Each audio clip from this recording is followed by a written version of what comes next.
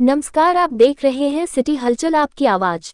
Reserve police line जनपद बिजनौर में पर्यावरण जागरूकता एक पेड़ माँ के नाम कार्यक्रम का आयोजन किया गया।